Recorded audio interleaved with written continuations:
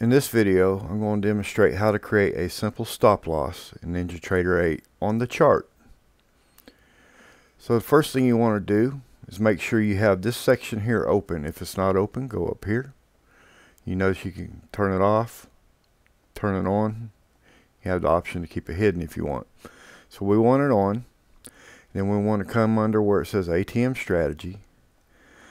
Click on custom here we're going to determine the amount of orders that we want to place. I'm just going to leave it at one and we have the option for the perimeter type to do our stops in ticks, delta price and value. I'm going to leave it at ticks and we're going to create a 12 point stop loss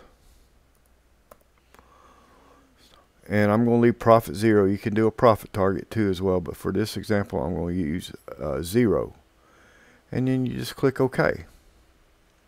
You notice under ATM strategy, custom came up with an explanation mark that lets you know that that is active. So what we're going to do is we're going to sell market because market is going up and I want to demonstrate the stop. So we're going to sell the market. And let me separate this a little bit so we can see this.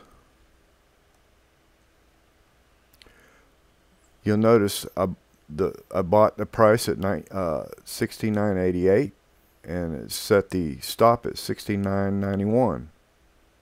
Or excuse me, I bought it nine eight yeah, and nine ninety one. So that's twelve points difference there.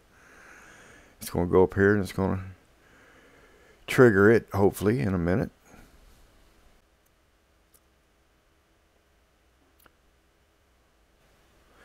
Well, I'll just demonstrate something else you can do. You can move this clicking on it, holding your holding your mouse button down, and drag, and then click again. And we're just going to make it hopefully go up there and hit it, and knock us out. That's how that's how you can trail uh, trail your trade as well manually. Manually trail your trade. So let's manually trail the trade. Click, drag, bring it to even, and there we're out. Okay. So that's how that works. Now, if you wanted to use this for future, you could just save as template. Click on edit over here.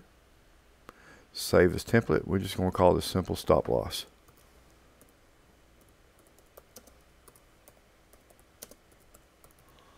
You name it whatever uh, you desire to make it memorable so you'll know.